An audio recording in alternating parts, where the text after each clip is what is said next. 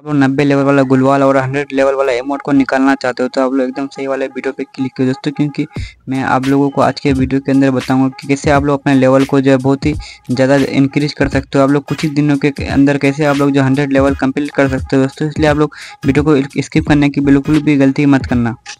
चलिए शुरू करते हैं। सब गाइस तो कैसे हैं आप लोग? आई होप कि आप लोग अच्छे होंगे और आप लोग अच्छे हैं। दोस्तों आप लोगों ने तो समझ ही लिया होगा कि मैं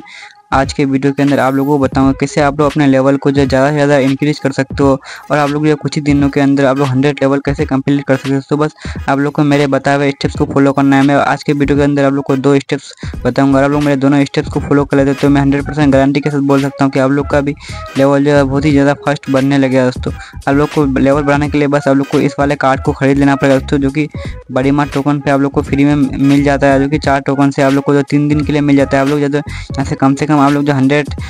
डेज़ के लिए आप लोग इस टोकन को खरीद लो, जो दोस्तों, अगर आप लोग इस टोकन को खरीदोगे तो आप लोग को ज़्यादा से ज़्यादा ई एक्सपी मिलेगा और ई एक्सपी का मतलब जानते ही उससे ही ज़्यादा लेवल बढ़ता है। और आप लोग अगर डायमंड खर्च करते हो तो आप लोग को ये वाला हंड्रेड परसेंट वाला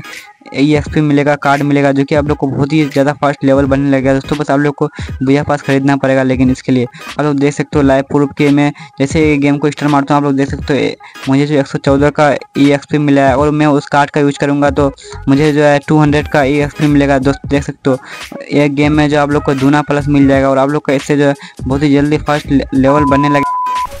दूसरा ठीक बताने से पहले आप लोगों को अगर वीडियो पसंद आया तो हमारे वीडियो को एक लाइक और हमारे चैनल को सब्सक्राइब करना दोस्तों, क्योंकि हमारे चैनल पर ऐसे ही आप लोग को वीडियो डेली की डेली मिलते ही रहेंगे। तो दोस्तों, आप लोग को दूसरा ट्रिक पे आप लोग को जो किसी बंदे का गिल में नहीं रहना है दोस्तों। आप लोग अगर गिल में रहोगे तो आप लोग का जो लेवल बनने का जो है पॉइंट कम मिलेगा, आधा पॉइंट आप लोग को जो गिल वाले को मिल जाएगा दोस्तों। इसलिए आप लोग किसी का भी गिल में रहना मतलब और जिसका भी गिल में हो आप लोग उसका गिल से निकल जाना दोस्तों। इससे जो आप लोग का लेवल बहुत ही ज़्यादा फास्ट बढ़ेगा दोस्तों। और वीडियो पसंद आता तो हमारे वीडियो को एक लाइक और हमारे चैनल सब्सक्राइब करना दोस्तों। थैंक यू हमारे वीडियो को देखने के लिए।